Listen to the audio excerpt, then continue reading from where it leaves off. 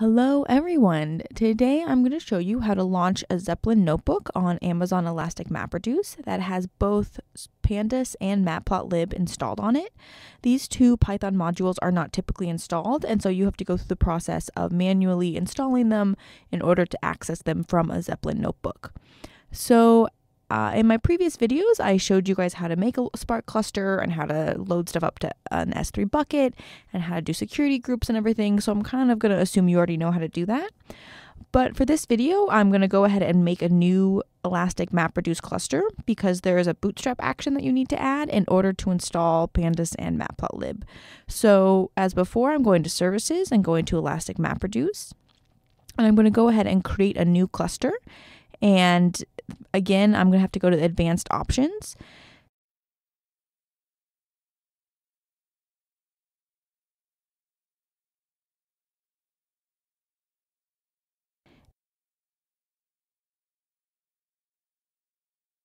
Um, again, as I showed you before, I'm going to load some configs from an S3 bucket. And then go ahead to the next step. Again, I talked all about um, these different nodes and instances and spot prices on my last video and so I'm kind of going to just rush through this and not talk about it very much.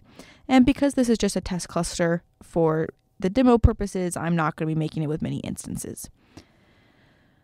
All right, I'm going to name my cluster something very informative. And you know you are a true computer scientist when you never add spaces to anything anymore. All right, and so this is the step right here that is going to help us get pandas and matplotlib on our cluster.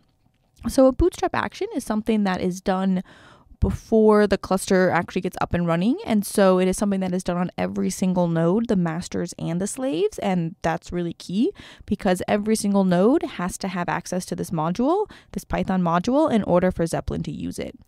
And so what I've done here is I have made a bash script and it's very simple. Um, and you, if you know about bash, then you know what this means. If not, at the high level, this is basically saying on your computer, it's this is going to be run. It's a script. And these first two lines here are going to say, please install pandas and matplotlib for Python 2. And the last two lines are going to say, please install it for Python 3. That so that if you want to use Python 3 or Python 2 on Zeppelin, you can go ahead and do so. And so this script has been saved and has been uploaded to an Amazon S3 bucket. And so here under Bootstrap Actions, I'm going to choose Custom Action and I'm going to name it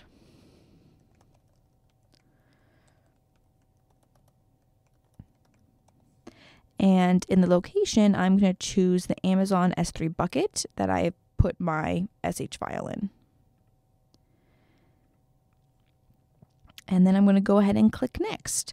And so again, use a key pair and everything else is going to stay the same. And then I'm going to go ahead and choose to create a cluster. Now this, it already takes a few minutes for a cluster to provision and bootstrap and start running, but these extra bootstrap actions of installing these modules do take some time, and so this may take up to 15 to 20 minutes to load depending on the size of your cluster. So I expect my cluster to take about 15 minutes to start up.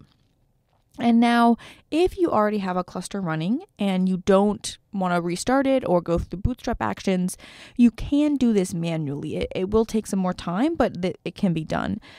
And so, to briefly go over how you're going to do that, you can go to services and go to EC2. And EC2 is um, sort of their services for launching and managing nodes. Elastic MapReduce is a service that helps manage EC2 for you. And so I launched a cluster solely on Elastic MapReduce. I haven't even touched EC2.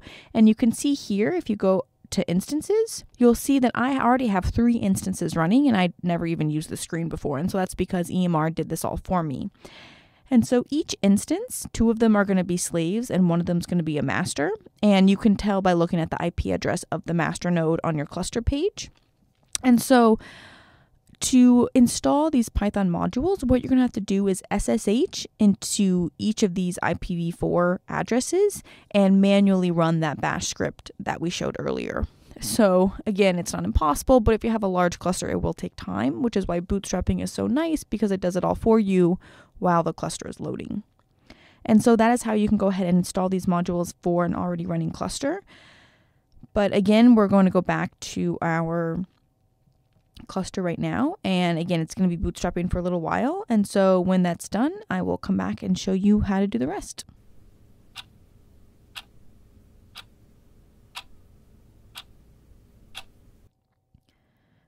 All right, guys, we are back and our cluster is up and running. And so now we are ready to enable the web connection and launch our Zeppelin notebook. And so this was something I showed you how to do in a previous video. So I'm kind of going to just um, fly through this here.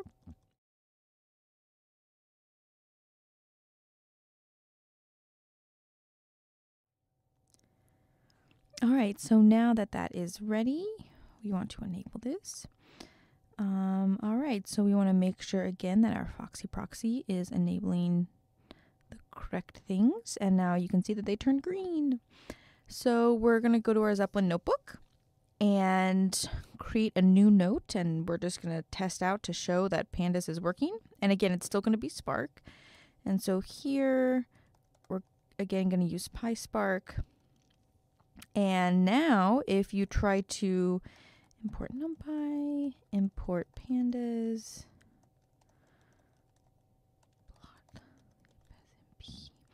um, and then let's do something, uh, I don't know.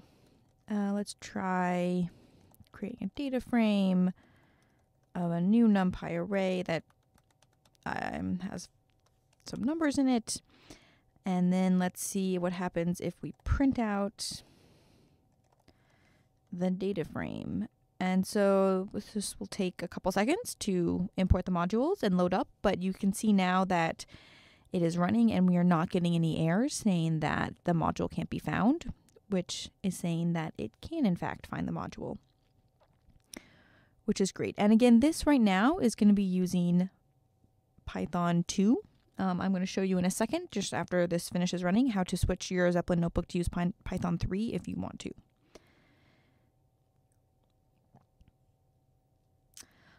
Well, yes. Okay, so uh, it just finished running and I had an error, so now I need to fix it.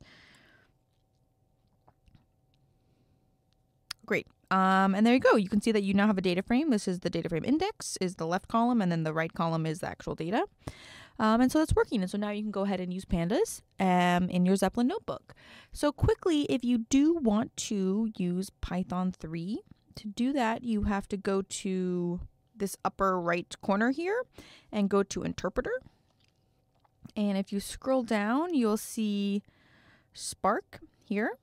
And what you want to do is under zeppelin.pyspark spark.python, you want to say Python. You want to edit it? Where's that button? Oh, here we go. Edit. And then you can want to change that just to be Python 3. And that should be good. There is a save option, I believe. Here we go.